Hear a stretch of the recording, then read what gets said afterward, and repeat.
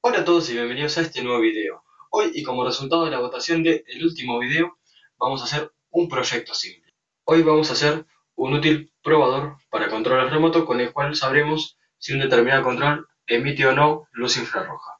Así que vamos a ver los materiales que necesitamos, el circuito, cómo montarlo y cómo funciona. Así que a trabajar. Bien, el funcionamiento del circuito es de lo más sencillo, pero no por eso no deja de ser muy eficaz y muy útil. Se basa simplemente en un fotodiodo infrarrojo al cual le vamos a hacer incidir el haz de luz proveniente de nuestro control remoto y esto va a provocar la saturación y corte de este transistor que va a hacer encender intermitentemente el LED que tenemos conectado en su conector. Esto se debe a que el fotodiodo infrarrojo posee un filtro que solamente hace que entre en conducción cuando es incidido justamente por luz infrarroja el LED se va a encender de manera intermitente ya que eh, la señal que le llega al fotodiodo eh, son pulsos, es un tren de pulsos de frecuencia variable proveniente del control remoto. Gracias a este pequeño divisor resistivo vamos a poder polarizar nuestro fotodiodo. El circuito completo se alimenta de 3 volts, que bien lo vamos a obtener de una fuente o podríamos utilizar un par de pilas del tipo AAA, ya que ambas son de 1,5 con su correspondiente portapilas Podríamos utilizar un par de pilas botón del tipo LR44 si queremos hacer el circuito más eh, pequeño y portátil. O bien, que creo que es la opción que yo voy a terminar utilizando, es utilizar eh, las famosas pilas 2032, eh, que ya son de 3 volt, que las podemos reciclar de una vieja placa madre, así también como su portapilas. ¿no? En cuanto al transistor, les propongo estos dos modelos, ya que ambos comparten el mismo orden de patillas que acá lo pueden ver. Ahora vamos a ver los componentes, su forma física y vamos a proceder al montaje. Y acá podemos ver los componentes en su forma física. Tenemos nuestro BC338, que es el que yo voy a terminar utilizando, un diodo de 5 milímetros, en este caso elegí color azul, pero que cualquier color valdría para este proyecto. Nuestro eh, fotodiodo infrarrojo, que una pequeña observación, dependiendo de dónde lo compren, les pueden ofrecer en 3 o en 5 milímetros y también los pueden conseguir con la cabeza opaca.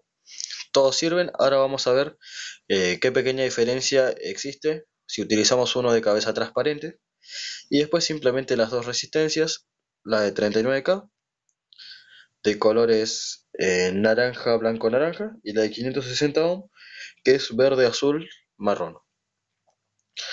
La única diferencia que existe entre si usamos uno de cabeza transparente o uno de cabeza opaca, que es que el de cabeza opaca ya posee el filtro para que solo incida sobre el fotodiodo luz infrarroja.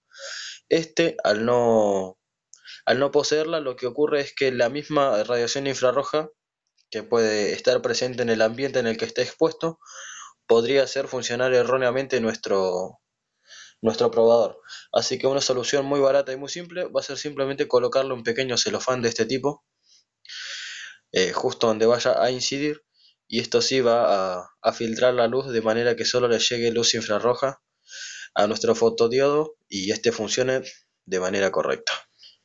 Ya tengo el circuito montado en protobar para probarlo. Estoy usando este protobar chiquito porque el grande que suelo utilizar lo tengo ocupado con otro proyecto y no tengo, no tengo ganas de desmontarlo solamente para hacer un circuito tan chiquito como este. Ahí podemos ver las dos resistencias, el fotodiodo infrarrojo, el, capa, el transistor y el LED que como ven está brillando inclusive aunque no tenga incidencia de luz infrarroja. Fíjense que cuando yo lo tapo el LED se apaga. Y ahora vamos a probarlo con un control remoto.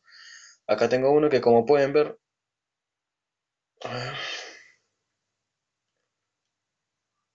Eso puede llegar a ver que efectivamente el LED infrarrojo funciona. Y ahora al dirigirlo al fotodiodo infrarrojo vamos a ver cómo empieza a destellar el LED azul. Se puede ver a la perfección. Ahora bien, para evitar que el LED azul quede permanentemente encendido voy a hacer algo. Acá lo que tengo es simplemente un trozo de funda de cable que se lo voy a colocar al LED infrarrojo. Exactamente. Ahí vemos como el LED se apaga ya que no recibe, si lo pongo de costado, no recibe tanta luz, pero al igual que antes al dirigir el LED infrarrojo al fotodiodo, vemos efectivamente cómo el LED azul enciende. Lo estoy alimentando con 3 volts que traigo desde una fuente regulable.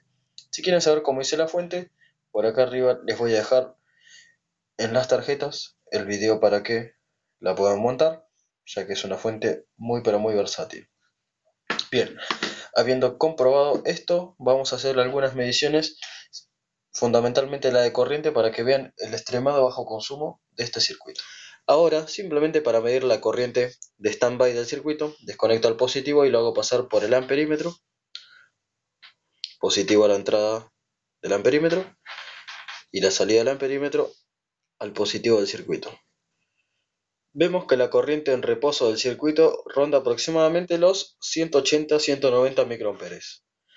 Pero esto es porque el LED se encuentra encendido ya que la cubierta no está filtrando la luz. Si yo lo tapo, vemos cómo baja a 76 eh, microamperes. Pero esto realmente va a estar con el filtro, así que si le ponemos el filtro, este valor decae sí, a unos 80 microamperes.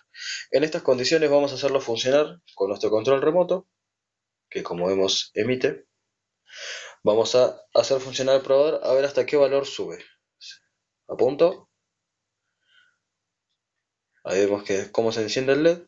Y vemos que en promedio el circuito está consumiendo unos 250 microamperes aproximadamente.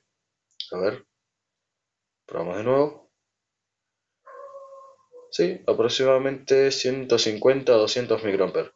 Como ven, el consumo del circuito es relativamente bajo, es extremadamente bajo, lo cual lo hace completamente atractivo y provechoso para utilizar con baterías, o pilas en este caso. Habiendo hecho las pruebas pertinentes, vamos a proceder a montarlo. Como yo voy a utilizar para alimentar este circuito una pila botón de este tipo, que son las de 3 volt, las famosas 2032, que se encuentran en las placas madre, voy a aprovechar esta placa madre vieja para retirarle el portapilas, así que vamos a hacer eso. Simplemente aportamos un poco. Estos son los contactos voy a aplicar un poco de pasta térmica. Eh, perdón, pasta para soldar.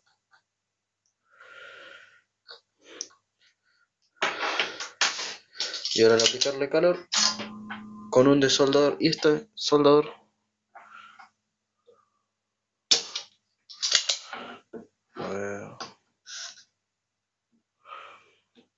Si la placa madre se maltrata, la verdad que no me interesa demasiado, así que sin miedo.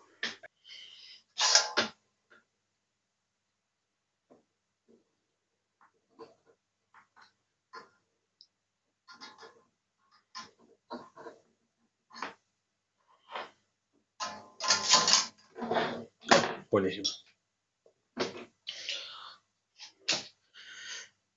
Y acá ya tenemos de soldado nuestro conector para pila. Ahora vamos a montar el circuito impreso en una placa universal de islas preperforada, pero antes de empezar a montar los componentes tenemos que definir qué vamos a utilizar como chasis. Ya que yo decidí utilizar este portapilas, que ya la pila es de 3 volt, no vamos a necesitar colocar pilas en serie. Eh, quiero hacer el circuito tan chiquito y tan portátil como sea posible.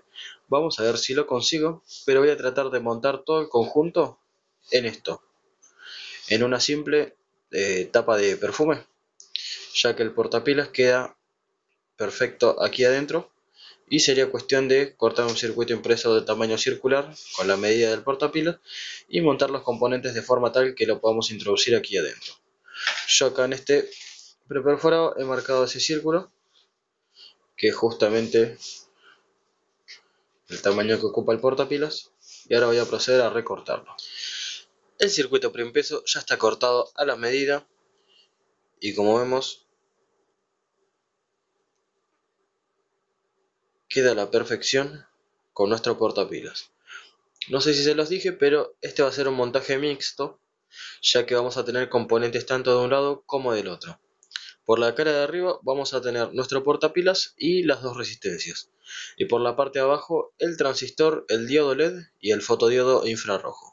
El montaje lo voy a hacer de esta manera, ya que el portapila me ocupa la totalidad de la placa sobre la cara de arriba.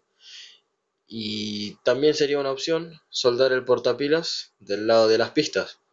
Pero se vuelve medio complicado soldar soldar teniendo el, portapilas colocado. Así que para no complicarme, eh, lo voy a hacer de esta manera, con componentes de este lado y de este lado.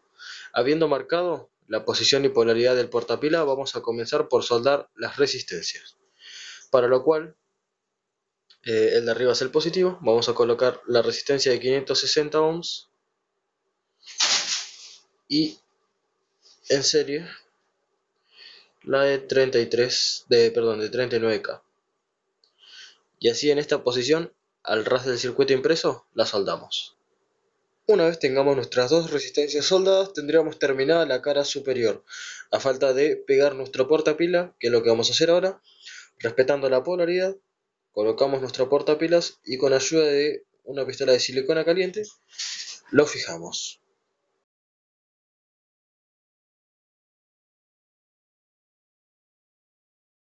Una vez tengamos bien pegado y sujeto nuestro portapilas, lo soldamos. Una vez soldado el portapilas, colocaremos y soldaremos en esta posición nuestro fotodiodo.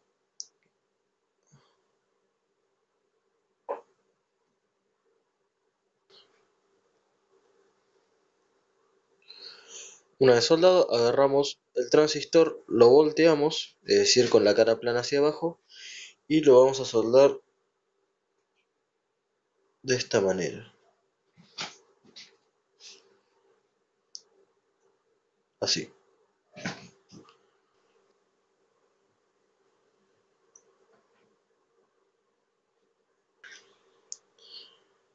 Y ya por último soldamos el diodo LED en su sitio de esta manera.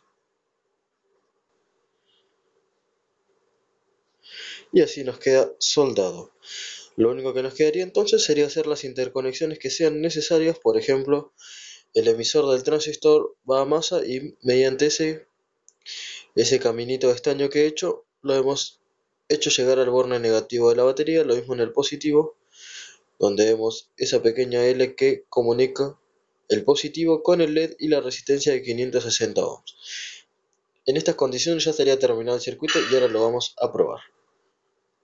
Simplemente agarramos nuestro proyecto y le colocamos la batería. El positivo es la cara plana que va hacia arriba. Lo tenemos que hacer encastrar en esa lengüeta y... Exacto. Como vemos el diodo LED brilla un poco, tal y como nos había sucedido en el protoboard. Y ahora se supone que al apuntarle con con un control remoto funcionando, este debería empezar a titilar. Efectivamente, ahí lo vemos. Ahora lo vamos a probar con menos luz. Bien, disculpen la poca luz, pero la idea es que se vea el efecto. Como vemos, el control remoto funciona, porque vemos cómo emite, y al apuntarlo, vemos como el diodo LED claramente se ilumina, indicando que nuestro control está funcionando. Algo con lo que yo claramente no contaba al momento de hacer este montaje es que si recuerdan en un principio pensaba utilizar este simple celofán, digamos, para, para filtrar la luz. Pero siendo que la tapa es completamente opaca, creo que va a ser más que suficiente para evitar el encendido indeseado del LED. Ahora vamos a montarlo dentro de la tapa.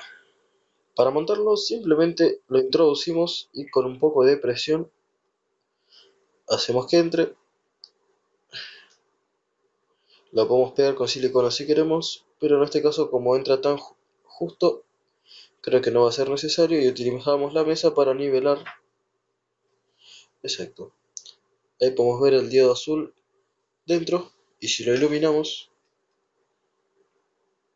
vemos claramente cómo responde a los estímulos cada vez que presionamos una tecla. Y bueno, Así es como queda terminado nuestro probador de control remoto casero, con el cual vamos a poder saber en un momento si un control remoto está emitiendo o no luz infrarroja. Y bueno gente, eso es todo por este video, espero que les haya gustado. Si fue así, no olviden darle like y suscribirse para estar al tanto de mis nuevos aportes y compartirlo para que más personas puedan verlo. En la descripción van a encontrar el link a mis redes sociales, las fotos en HD que les voy a dejar a mi perfil de Google Maps y el enlace al post donde les voy a redactar con información complementaria la construcción de este útil probador de control remoto. No olviden dejarme sus sugerencias o dudas en la caja de comentarios y sin más que decir me despido hasta el siguiente video.